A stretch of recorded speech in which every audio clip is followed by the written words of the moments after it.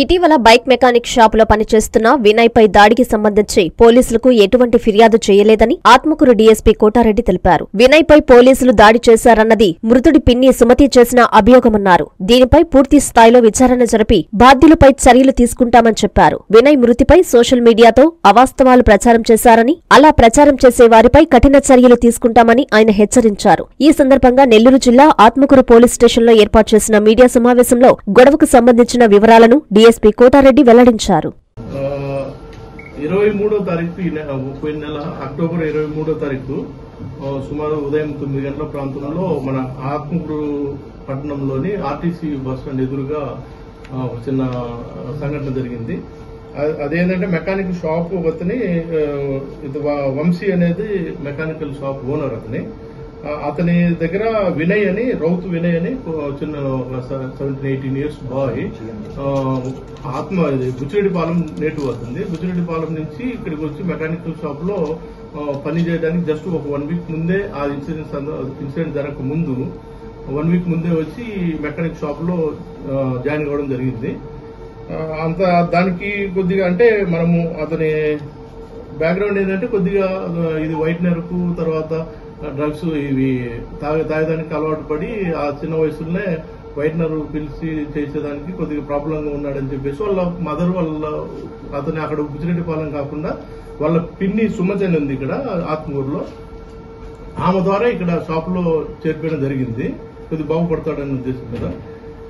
అది మాల్లో అది వినయ్ గురించి. అయితే ఈ ఈ షాప్లో మెకానిక్ షాప్లో పనిచేసేటప్పుడు ఆ ఎదురుగా బట్టల షాప్ ఒకటి ఉంది. అది ఫరూక్ అనే అతనిది బట్టల షాపు. ఆ ఫరూక్ అనేది బట్టల షాప్ అతని ఓనరు ఆ బైక్ను ఈ మెకానిక్ షాప్ ఆపోజిట్లో ఉండే మెకానిక్ షాప్ దగ్గర ఇక్కడ స్థలం లేనందువల్ల అక్కడ పార్కింగ్ చేసుకోవడం జరుగుతూ ఉన్నది.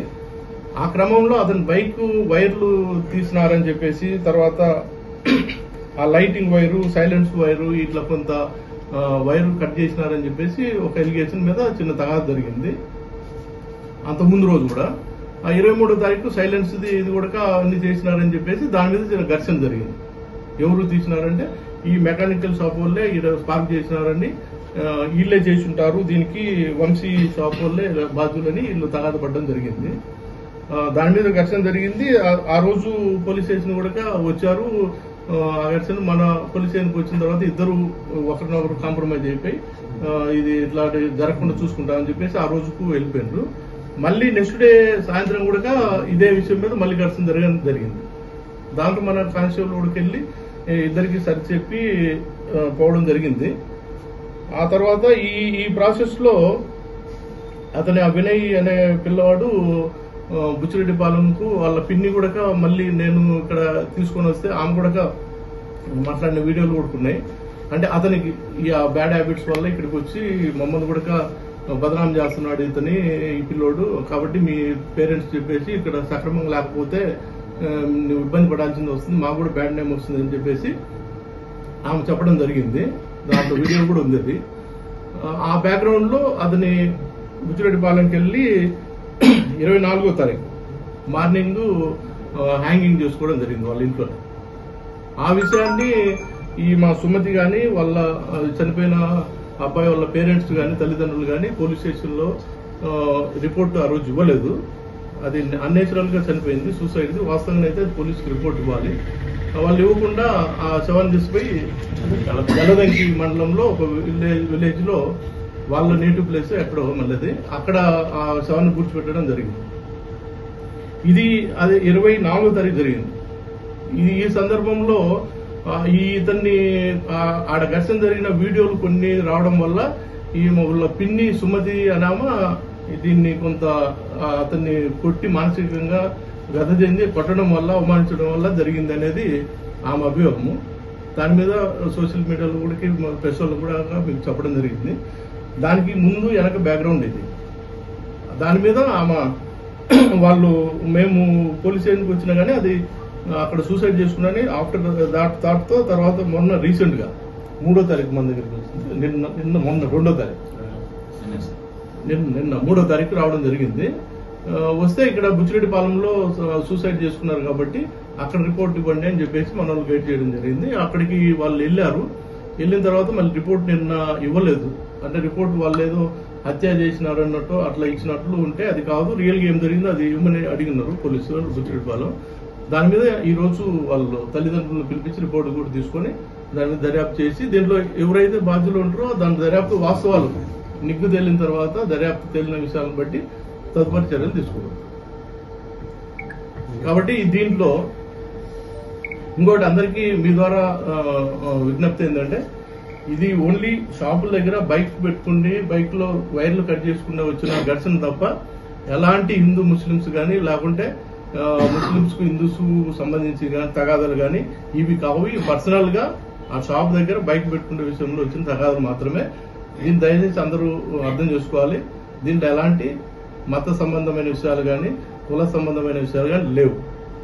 అతను సూసైడ్ చేసుకున్నాడంటే దానికి వాళ్ళు రిపోర్ట్ ఇవ్వకుండా సో అక్కడ పూడ్చిపెట్టడం అనేది తప్పు.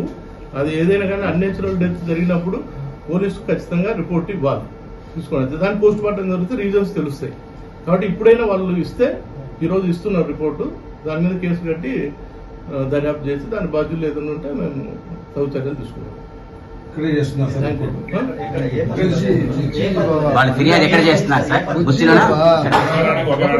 వాళ్ళు ఫిర్యాదు ఇక్కడ చేస్తున్నారా బుచ్చిలో చేస్తున్నారు? ముచ్చిరెడ్డిపాలెం ఇప్పుడు ఇంకోటి మీకు తెలియదు ఏంటంటే ఇది ఇక్కడ ఘర్షణ జరిగి సర్దుబాటు చేసుకుని వెళ్ళారు.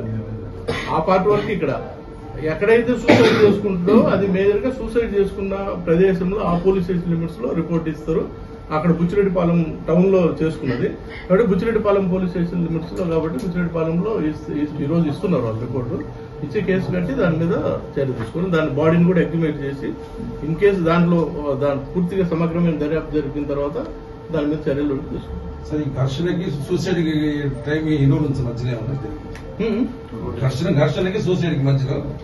ఎన్ని రోజులు గ్యాప్ ఉంటుంది ఘర్షణకు సొసైటీ కంటే ఘర్షణ ఇరవై మూడో తారీఖు జరిగింది. ఇరవై నాలుగు ఇరవై నాలుగు చేసుకున్నాడు.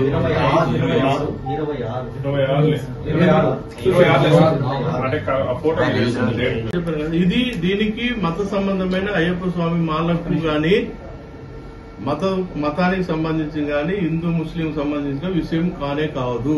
మీకు రిపీటెడ్ చెప్తున్నా. దానికి ఎలాంటి సంబంధం లేదు. వాళ్ళు బైక్ మెకానిక్ షాప్ ముందు పెట్టుకున్న దాని మీద దీంట్లో ఇంకా మీకు ఇంకొక విషయం ఏంటంటే ఈ షబ్బీరు మున్నాతో పాటు భరత్ అనే అతను కూడా వన్ ఆఫ్ ది పార్ట్నర్ ఈ ఈ ఫైనాన్స్ షాప్లో ఫైనాన్స్ షాప్ ఏదైతే షబ్బీర్ ఉన్నాడో ఆ షబ్బీర్ దాంట్లో ఫైనాన్స్ దాంట్లో పార్ట్నర్ భరత్ అని కూడా ఉన్నాడు. ఈ ఘర్షణలో అతను కూడా ప్రెజెంట్లో ఉన్నాడు భరత్ కూడా. దాడి దాడి దాడి ఏదైతే ఎలిగేషన్స్ దాడి చేసిన దాని ఉందో దాంట్లో భరత్ కూడా ఉన్నాడు. కాబట్టి ఎలాంటి హిందూ ముస్లిం సంబంధించిన అయ్యప్ప స్వాములను అవమానించాలనో లేకుంటే అసలు ఆ పార్టీ లేదు అది అది కానే కాదు ఇది. దయచేసి పబ్లిక్ దీనికి కానీ మీ ద్వారా అందరికీ సోషల్ మీడియాలు కానీ రకరకాలుగా వస్తా ఉన్నాయి. అవి కరెక్ట్ కాదు. దీంట్లో ఓన్లీ కేవలం ఆ స్పర్ ఆఫ్లో బైక్ విషయంలో కట్ చేసిన వైర్లు అనే దాని మీద తగాద చిన్న తగా తగాద జరిగింది.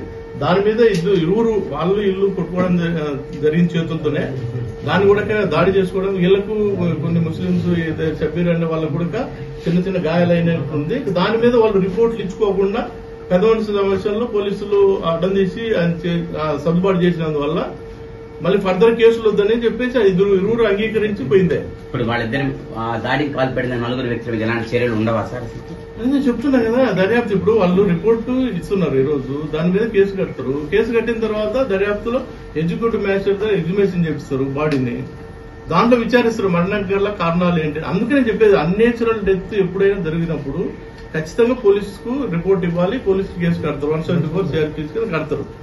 దాని అది కట్టే పర్పస్ ఏంటి? మరణానికి గల కారణాలు ఏంటి అనేది మెయిన్ దాని మీద అన్ని వస్తాయి.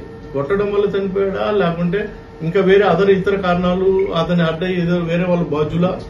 ఎట్లా అనేది మొత్తం దర్యాప్తులు అన్ని పక్కాగా విచారించడం జరుగుతుంది. విచారించిన దాని మీద దాంట్లో వచ్చిన అవుట్కమ్ బట్టి ఫర్దర్ యాక్షన్ ట్వంటీ థర్డ్ న జరిగింది. ట్వంటీ ఫోర్త్ కూడా మళ్ళీ చిన్న తగాద జరిగింది. ఇరవై ఐదు తారీఖు మా ఆడ ఇంట్లో ఉదయం బుచ్చిరెడ్డిపాలెంలో హ్యాంగింగ్ చేసుకున్నారు ఇరవై ఐదో తారీఖు. మార్నింగ్. కాబట్టి ఇది తర్వాత ఇది ఆ- మార్నింగ్ జరిగింది వాళ్ళు తీసుకుపోయి బాడీని ఆడ జల్దంకి ఏరియాలో బూట్స్ పెట్టడం జరిగింది.